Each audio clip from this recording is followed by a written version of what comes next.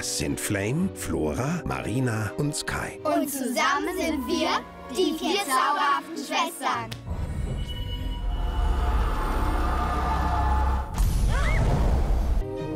Jetzt, wo auch Sky ihre Fähigkeiten hat, werden wir endlich das Geheimnis der Windrose lüften. Vier Elemente. Beherrschen die Welt. Herzlich willkommen zu Disney Insider. Ich bin heute an einem ganz magischen Set, nämlich die vier zauberhaften Schwestern. Hier hinter mir ist Cantrip Towers, Dreh- und Angelpunkt unserer Geschichte. Aber apropos Dreh, ich dachte, hier sollten Dreharbeiten stattfinden. Hallo Patricia. Hallo Laila, äh, ich meine Flame. Ähm, ja, wenn du den Dreh suchst, dann bist du ja aber ein bisschen falsch. Komm mit, ich kann sie zeigen. Ja, super. Am Set laufen die Dreharbeiten bereits auf Hochtouren, um die beliebte Buchreihe rund um die vier zauberhaften Schwestern von Sheridan Wynn auf die große Leinwand zu bringen. Wow, das ist ja riesig hier. Wie findest du dich denn hier zurecht? Also ich habe eine ganz nette Kinderbetreuerin, die Emilia. Und die habt ihr wahrscheinlich auch schon kennengelernt. Die hat so einen Funk im Ohr. Die weiß immer ganz genau, wann und wo ich sein muss. Und die sagt mir das dann. Und irgendwann findet man sich hier auch zurecht. Ah, super cool. Kannst du mir dann was zum Film verraten? Ich würde dir gern ganz viel erzählen, aber darf ich leider nicht. Ich muss jetzt aber auch schon los. Oh, Aber vielleicht guck dich doch mal um. Du findest bestimmt selber ein paar Geheimnisse heraus. okay, Geheimnisse klingt gut. Bis später. Ciao. Sehr gut. Laila hat gerade gesagt, am Set gibt es ein Geheimnis. Und ich schaue jetzt mal im Schloss nach. Das sieht ja schon ganz schön magisch aus in diesen alten Gemäuern. Hier müsste doch auch irgendwo der geheime Windrosenraum versteckt sein, den die vier Schwestern im Keller haben.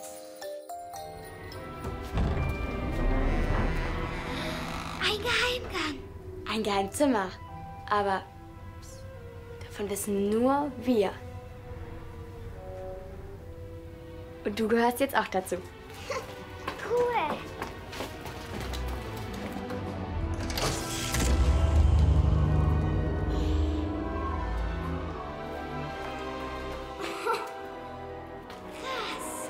Warte erst mal ab, bis du das hier siehst.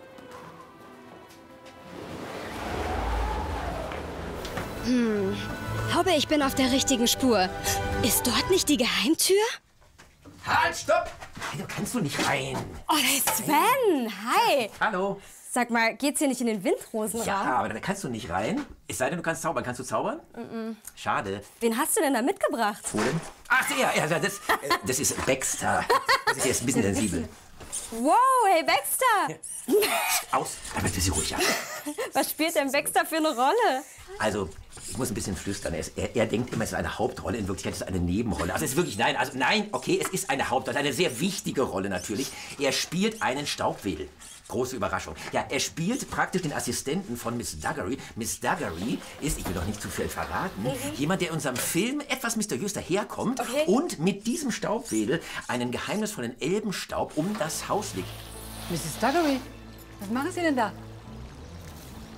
Ja, wonach sieht's denn aus? Staubwischen. Dann werde ich das wohl tun. Ja, aber draußen? Ja, drinnen nützt es ja nicht viel, oder?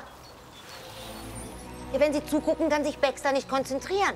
Baxter hat quasi einen kleinen Tank. Ja, das ist hier unten, das ist ein bisschen kitzelig, aber macht ja nichts. Also da ist auf jeden Fall dieser Elbenstaub drin und mit diesem wedelt sie das Haus ab. Ich weiß, da wird ihm immer schlecht, wenn ich das mache, aber da muss er durch.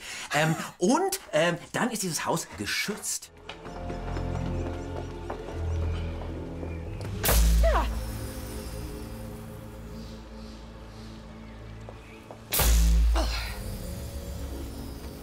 Spiele eine böse Hexe, wo die Kinder nicht gleich anfangen zu schreien, wenn die auftritt, sondern vielleicht auch mal lachen, sich über sie lustig machen oder sie auch ein bisschen cool finden. Elbenstaub. Alles voller Elbenstaub. Eureka, den wollte My Lady doch. Trottel. Das ganze Haus ist mit einem Schutzschild überzogen. Ich brauche frischen Elbenstaub. Bist du als Regisseur eigentlich auch aufgeregt? Ja, klar. Also gerade bei einem so großen Projekt, wo man so viele Monate Vorbereitungszeit hat, weil man hat ja ganz viele Elemente. Man hat Kinder, man hat Tiere, man hat Special Effects, die am Set gemacht werden, aber auch Computertricks. Und wenn dann der Set, wenn es dann am Set losgeht, dann kommen alle diese Elemente zusammen und da ist man natürlich aufgeregt. Was hatte dieser Cantrip noch mal gesagt? Solange Ihnen das Dach über den Kopf nicht zusammenfällt, verkaufen Sie nicht.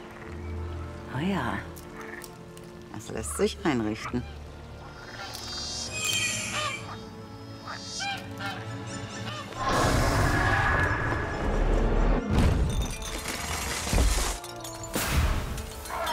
Könntest du mir noch einen ganz großen Gefallen tun? Mhm. Äh, könntest du bitte diesen Baxter hier, sei mal jetzt ein bisschen ruhig, zu unseren Special Effect Leuten bringen? Ja. Äh, dort abgeben, weil die können dir noch einiges zu dem Baxter erzählen, der animiert wird. Würdest ja, du das für mich machen? Ja, das mache ich natürlich. Tschüss.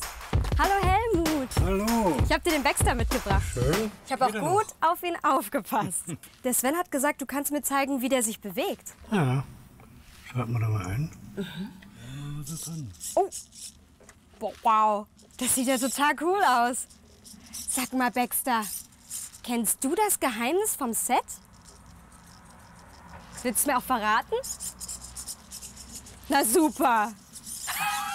Und machst du auch die Animation?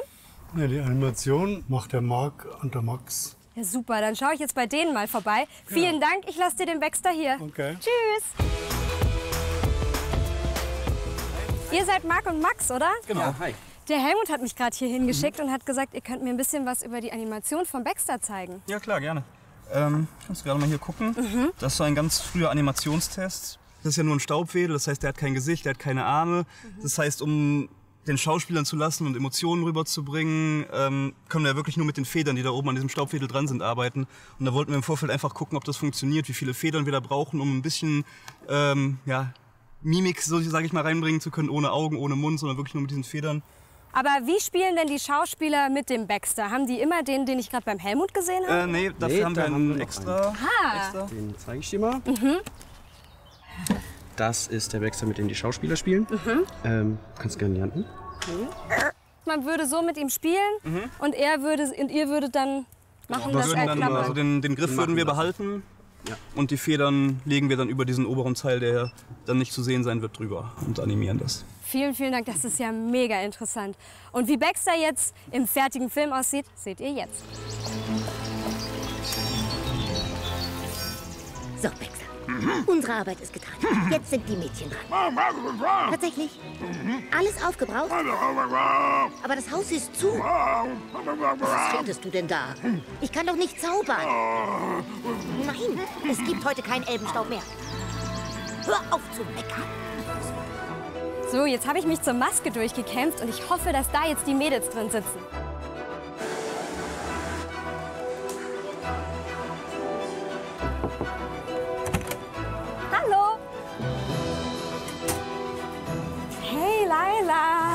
Dürfen wir dich auch noch mal stören? Ja, klar. Ist euch schon mal was äh, Lustiges am Set passiert? Oh ja, ähm, gleich am ersten Drehtag habe ich die Türklinke von der Tür abgerissen. Nein! Und plötzlich stand ich dann nur noch mit der Klinke in der Hand. Ja. Das ist ja cool. Und was ist denn deine Lieblingsszene im Film? Oh, das ist schwierig. Ich mag eigentlich alle. Mhm. Aber ich freue mich sehr auf die Verfolgungsjagd. Uh. Los! Hinterher! Bringen Sie sie mir!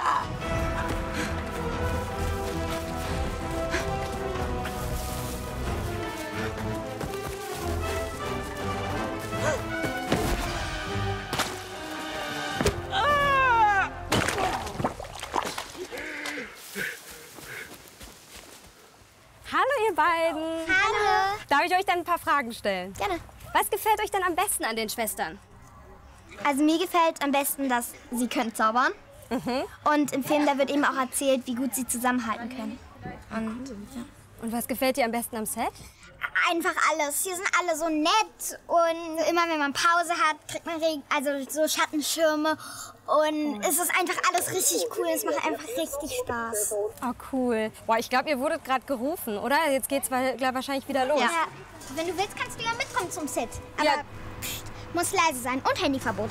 Total gerne, ja. Dann kommen wir mit, oder? Als nächstes wird hier eine große Tanzszene gedreht.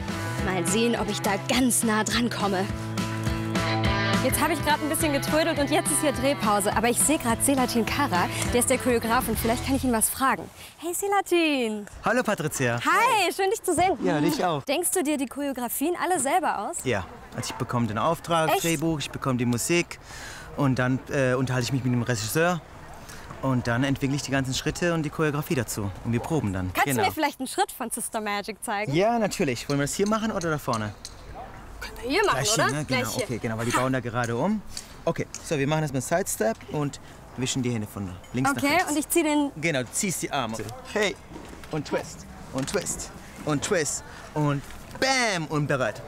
Super cool! Und High High Five! Denkst du, ich bin bereit für die Bühne? Ja klar, komm mit. Ja, cool. Und ihr auch.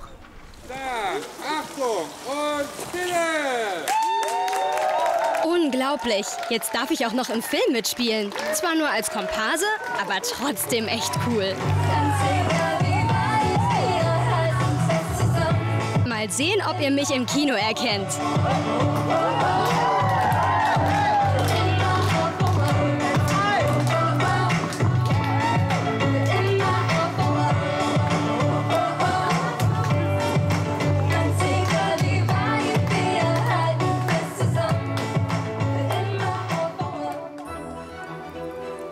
Was für ein eindrucksvoller Tag hier am Set von Die vier zauberhaften Schwestern.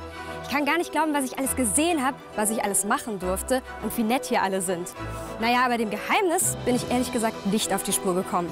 Vielleicht schaue ich mir einfach den Film an und find's hoffentlich dann raus. Bis zum nächsten Mal.